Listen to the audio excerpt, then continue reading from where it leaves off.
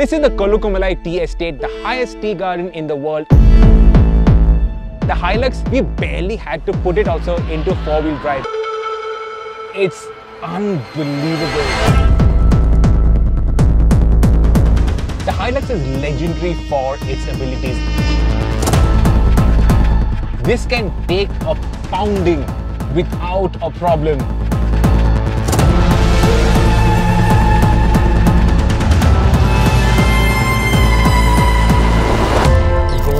Anywhere ability.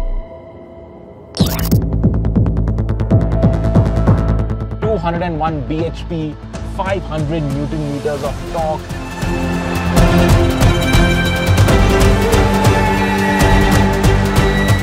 While going down, you have downhill descent control.